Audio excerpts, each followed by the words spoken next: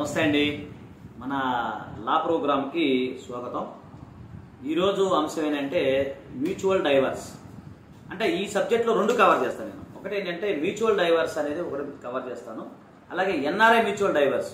అంటే NRI persons mutual divorce ఏ విధంగా ఫైల్ చేసుకుని ఆ రెండు కవర్ అయిపోతాయి ఈ టాపిక్లో అయితే మీకు ఏదైనా సందేహాలు ఉంటే మీరు ముందుగా చెప్తే మీరు కామెంట్ బాక్స్లో తెలియజేయండి. చాలామందికి ఏంటంటే మన సబ్స్క్రైబర్లో ఇది వీడియో చూసి బోర్ కొట్టచ్చు. ఇది ఏంటండి అని.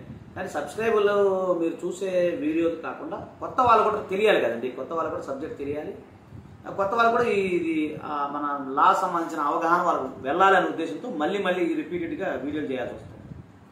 సో ఈరోజు ఏంటంటే ఇక మ్యూచువల్ డైవర్స్ ముఖ్యంగా మన వాస్తవం చెప్పాలంటే తిరుపతి అలాగే చిత్తూరు కానీ ఇలాంటి ప్రాంతాల్లో ఉన్న మన మిత్రులందరూ కూడా అడుగుతూ ఉన్నారు. సో తిరుపతిలో మన ఆఫీసు ఏదైతే ఉందో అక్కడ నుంచి కూడా మనం మ్యూచువల్ డైవర్స్ ఫైల్ చేస్తాం. తిరుపతి చిత్తూరు అలాగే చుట్టుపక్కల రాయలసీమ జిల్లాలో కూడా మనం ఫైల్ చేస్తాం. సో ఇకపోతే మ్యూచువల్ డైవర్స్లో ఏంటంటే అసలు మ్యూచువల్ డైవర్స్ ఏంటంటే భార్యాభర్తలు ఎవరైతే ఉన్నారో వారిద్దరు విడిపోవాలి. అంటే ప్రేమపూర్వకంగా విడిపోవాలి. గుర్తుపెట్టుకోండి. ఇక్కడ పాయింట్ అర్థం చేసుకోండి. వారు ప్రేమపూర్వకంగా విడిపోవాలి అనే అంశంలో సెక్షన్ థర్టీన్ బి కింద అంటే వన్ ఇయర్ అయిన తర్వాత అంటే మ్యారేజ్ అయిన తర్వాత వన్ ఇయర్ అయిన తర్వాత మీరు సెక్షన్ థర్టీన్ బి కింద మీరు కోర్టు కోర్టులో మీరు ఫైల్ చేసుకున్నప్పుడు ఆ కోర్టు వారు విచారించి ఫస్ట్ పిలుస్తారు అంటే పిలిచిన తర్వాత మీ యొక్క అప్లికేషన్ ఏదైతే పిటిషన్ ఏదైతే మొత్తం చూసుకొని పోలీసు వారు కోర్టు వారు విచారించి ఏం చెప్తారంటే ఓకే మీకు ఇద్దరికి ఇష్టమా అని అడుగుతారు. ఓకే మాకు ఇష్టం అండి అంటే డైవర్స్ తీసుకున్న ఇష్టమా? డైవర్స్ తీసుకున్న ఇష్టమే అని అనుకున్నప్పుడు విచారించి నెక్స్ట్ సిక్స్ మంత్స్ తర్వాత వాయిదా పడుతుంది.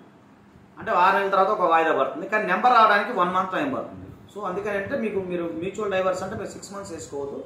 మినిమం మీరు ఏడు నెలలు టైం పెట్టుకోవచ్చు. మళ్ళీ ఆరు నెలల తర్వాత ఒకటి ఆ- రోజు మీరు రావాల్సి ఉంటుంది. ఆ రోజు వచ్చిన తర్వాత మేము చీఫ్ అబ్యూట్ ఫైల్ చేసేస్తాము. ఆ రోజు జడ్జి గారు అడుగుతారు. ఫైనల్గా డిసిషన్ ఫైనల్ అన్నప్పుడు ఎస్ అన్నకున్నప్పుడు ఆటోమేటిక్గా మీకు డైవర్స్ వచ్చేస్తాయి. చాలా మంది ఏంటంటే సార్ సిక్స్ కూలింగ్ పీరియడ్ ఉందంట కదా తీసేస్తున్నారంట కదా ఆరు నెలలు కాకుండా రెండు నెలల మూడు నెలలు డైవర్స్ వస్తాయని.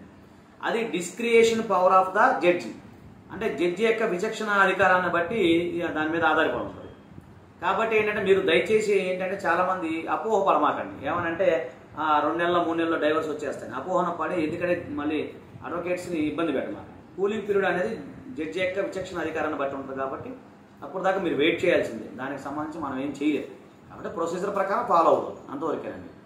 అలాగే ఎన్ఆర్ఐ మ్యూచువల్ డైవర్స్ అంటే ఏంటి? నెక్స్ట్ వీడియో పార్ట్ టూ వస్తుంది.